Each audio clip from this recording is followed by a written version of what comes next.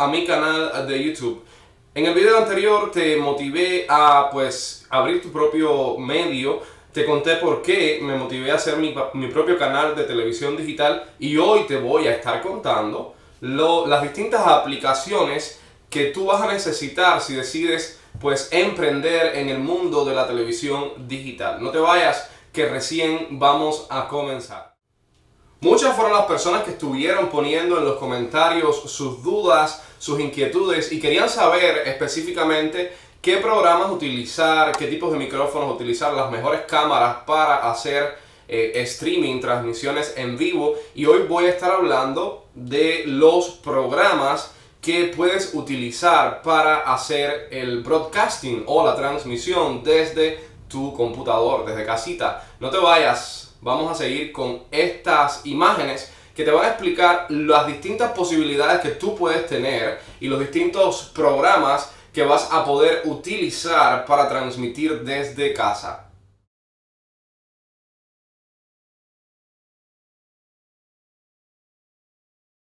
En el video de hoy te voy a estar contando de las aplicaciones que yo he ido utilizando a lo largo de mi trabajo en redes sociales y por lo tanto voy a hacer la aclaración. El hecho de que yo las haya utilizado no significa que sean las mejores o que sean las únicas que tú puedes utilizar.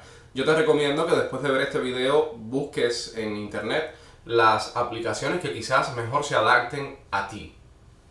En este top de las 5 aplicaciones que he utilizado para transmitir desde mis plataformas, desde redes sociales, Entiende que estas aplicaciones te van a servir para transmitir desde eh, Facebook, Instagram, LinkedIn, YouTube, diversas otras, eh, vamos a decir que eh, vas a sacar el video desde tu estudio y lo vas a emitir por diversas plataformas. Estas plataformas son diversas y por lo tanto tú vas a elegir qué aplicación vas a utilizar y en dependencia de a dónde vas a querer tú poner tu contenido. Por ejemplo, voy a comenzar con una de las aplicaciones más populares que en estos momentos están utilizando las, personas que hacen eh, streaming, es decir, que transmiten desde sus casas, desde sus estudios. Estamos hablando de precisamente StreamYard.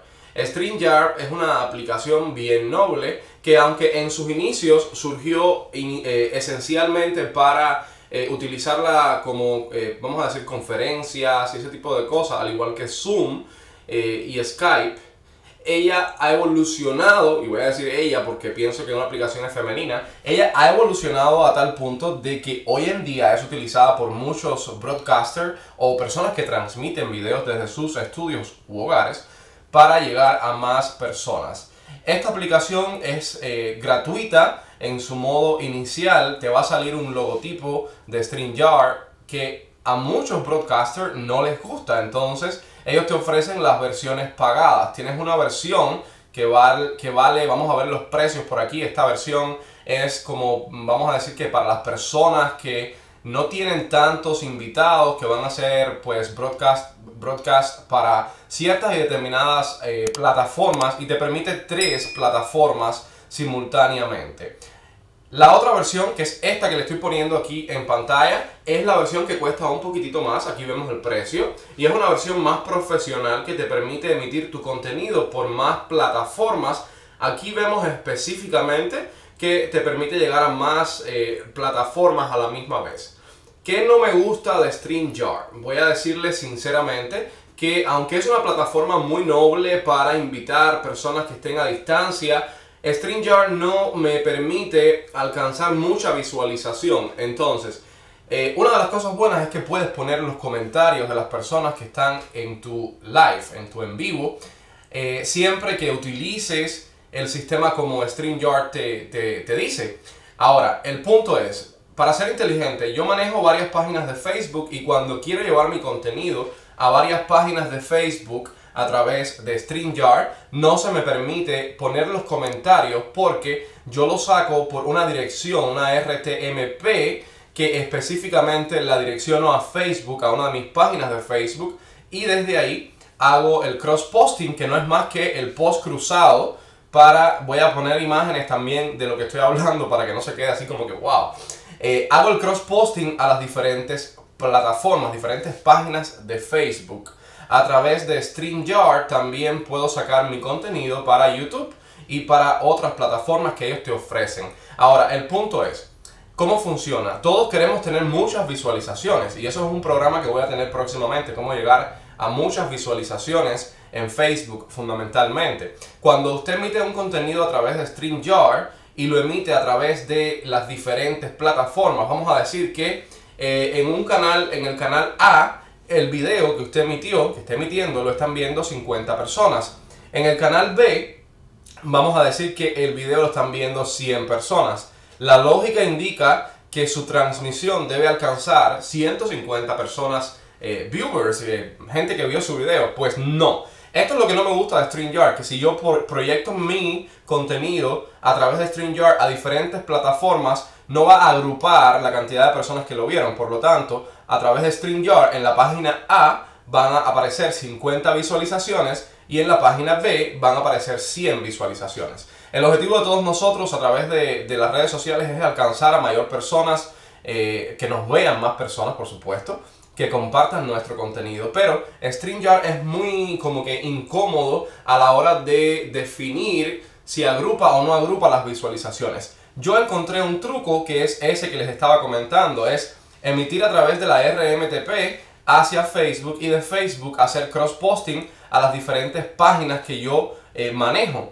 Así, en todas las páginas se va a agrupar las visualizaciones. En Facebook sí tengo la opción de que si en el canal A me vieron 50 y en el B me vieron 100, a la hora que yo termino el video va a aparecer en ambos canales que la visualización total fueron de 150 personas. Esto es importante porque a la hora de tú crear eh, un portfolio, una, como una carpeta de negocios, el cliente siempre le gusta ver que tu espacio, tu contenido es visto por muchas más personas y demuestra el alcance eh, no estoy de acuerdo, pero las personas generalmente que pagan para que nosotros eh, seamos quienes le llevemos su contenido al público, no entiende de las estadísticas de Facebook y es muy difícil explicarle a una persona que ignora de redes sociales cómo funciona esto internamente.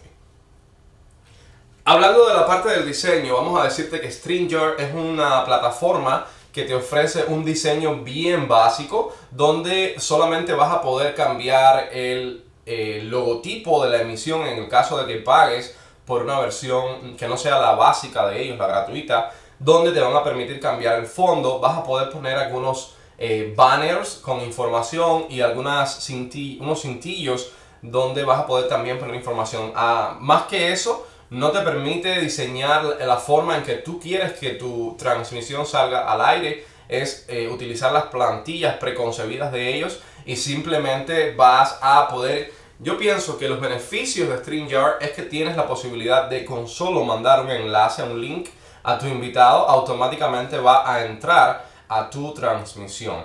Un programa que yo, eh, que yo utilizo generalmente cuando tengo invitados desde lugares donde otras plataformas, otras aplicaciones no funcionan, entonces me voy por StreamYard. Generalmente cuando es algo de conversación, ya cuando es, es un programa que lleva un poquito más de edición, que lleva eh, más eh, trabajo de edición, yo prefiero otros de los que te voy a estar hablando también ahora eh, en solo unos minutos. Yo te pido que por favor te suscribas a este video, que actives las notificaciones, me dejes un like, me dejes un comentario si piensas que lo que te estoy diciendo es diferente a lo que tú has entendido de StreamYard. Si tienes nuevas ideas, por favor déjamelo saber también en los comentarios. Y ahora voy a pasar con la otra aplicación que yo utilizo en mis transmisiones en vivo.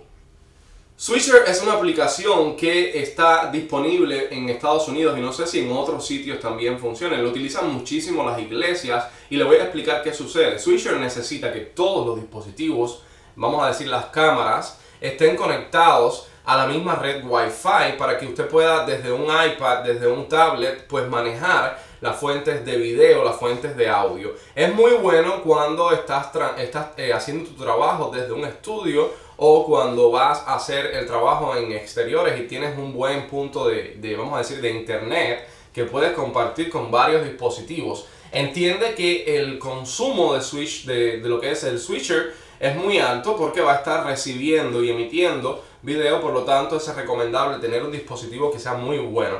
A mí me gustó Switcher cuando, por ejemplo, iba a hacer alguna transmisión en exteriores para ponerle los, eh, los en vivos, ponerle la información, los banners, los logotipos. Ahora, si tú en realidad no vas a hacer un, no vas a hacer un canal que sea informativo, no vas a hacer un canal que esté transmitiendo en vivo desde la calle, yo te diría que el Switcher no es la mejor aplicación para que tú inviertas. El costo es un poquitico elevado para las prestaciones que tiene, pero es una aplicación más que está disponible en el mercado y a la que tú puedes tener acceso. Creo que ellos tienen una versión gratuita. Yo desde que lo instalé, instalé la versión pagada para probar. Estuve dos meses utilizándolo y no me gustó al punto de que definitivamente decidí, eh, vamos a decir que no utilizarlo. Voy a estar poniendo imágenes de un video que yo saqué desde una, una promoción que hice para que usted vea el contenido, cómo sale la información, los banners. Es también importante que tenga la persona que esté manejando la aplicación desde un iPad o desde un teléfono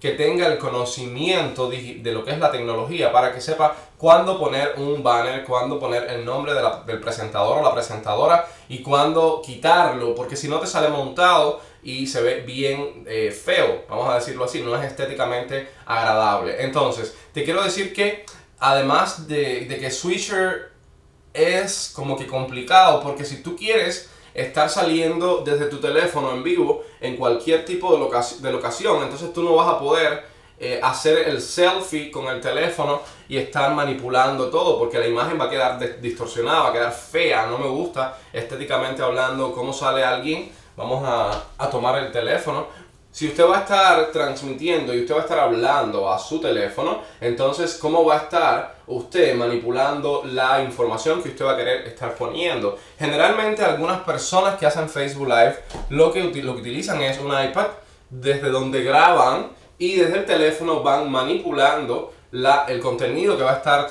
eh, saliendo. Entonces, ¿qué sucede? Ellos utilizan los hotspots, las conexiones eh, inalámbricas que ofrecen algunas compañías telefónicas eh, en el mundo para que conecte el iPad al teléfono y del teléfono entonces hace la transmisión. Generalmente la imagen sale bien, aunque no es un contenido que salga en alta definición. Déjeme decirle esto, se puede ver pixelado y puede quedar mal en el caso de que su conexión a internet no sea la óptima.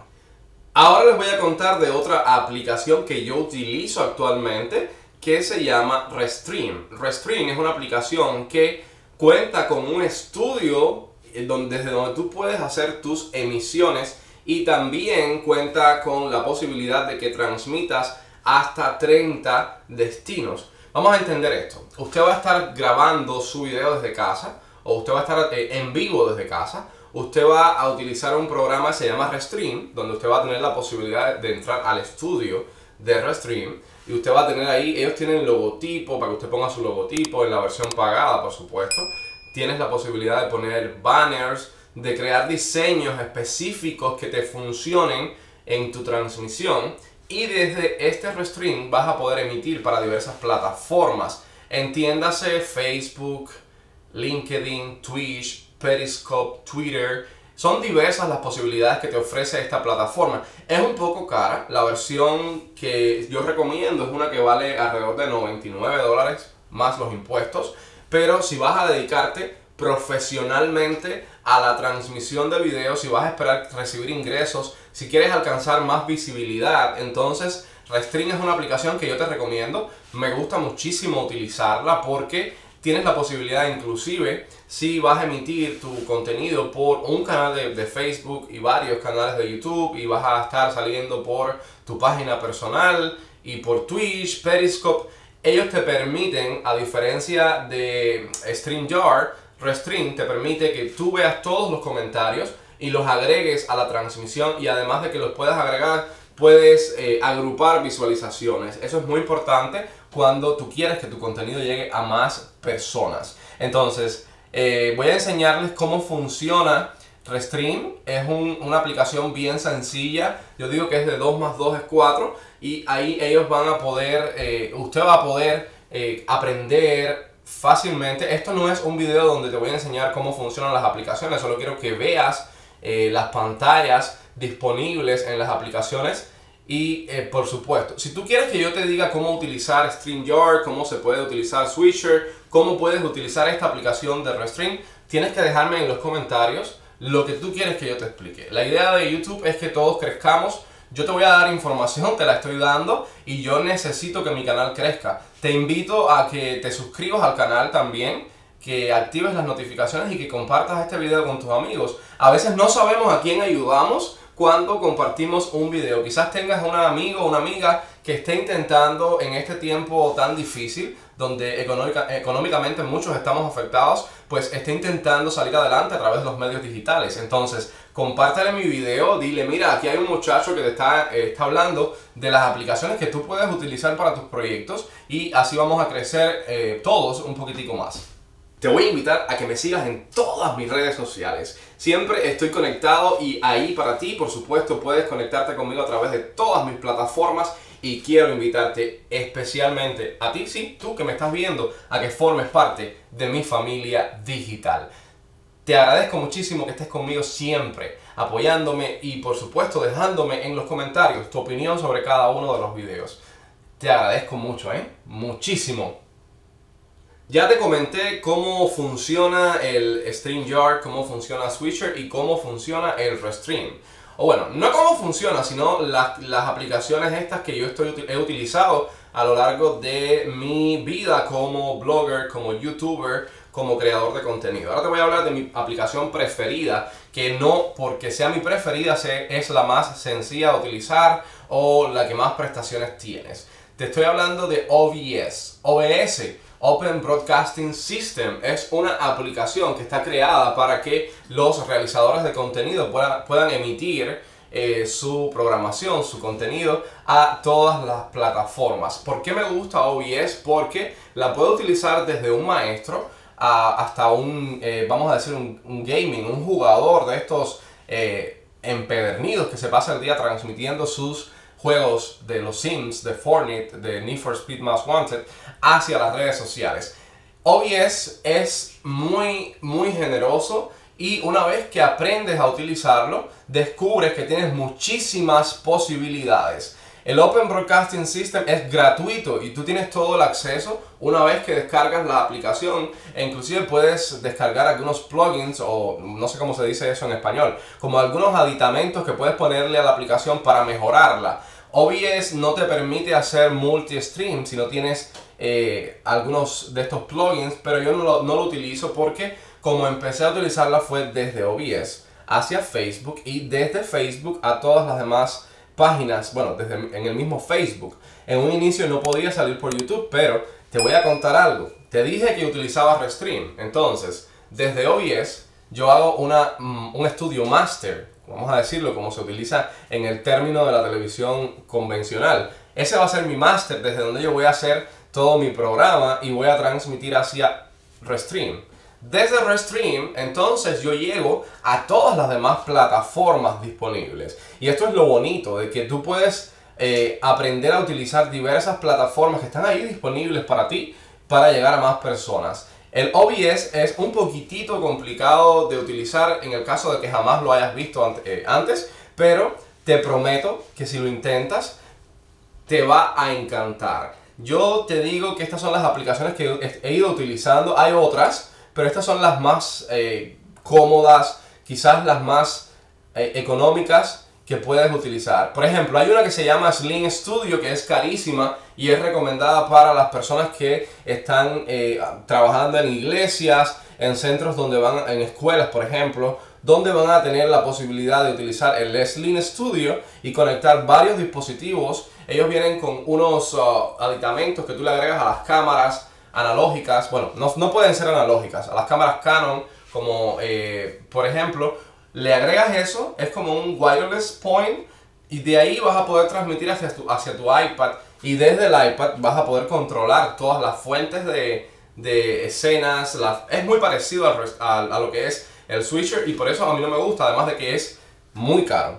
Sinceramente, cuando uno está empezando en redes sociales no puede invertir esa cantidad de dinero que estas plataformas te quieren cobrar. Entonces, yo te recomiendo que empieces con lo básico que aprendas a utilizar el StreamYard, que una vez que te sientas cómodo con StreamYard no te quedes ahí, divórciate de esa aplicación y cásate con una nueva, puedes intentar probar las versiones gratuitas que tienen las demás aplicaciones como Restream, Switcher y por supuesto, yo te recomiendo muchísimo que utilices OBS.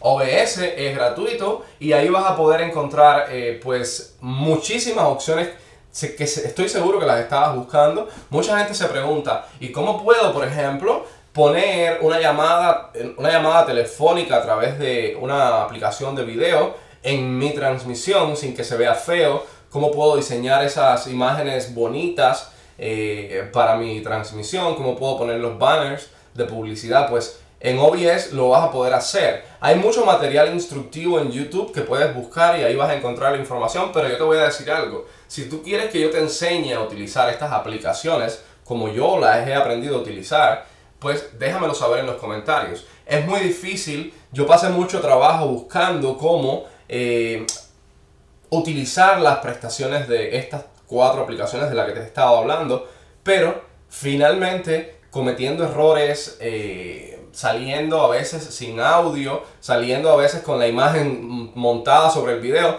aprendí. Y eso es bueno, pero más bueno es tener, eh, yo digo, no es saber, sino tener el número de la persona que sabe. Entonces, aquí te estoy dejando todas las opciones para que te conectes conmigo.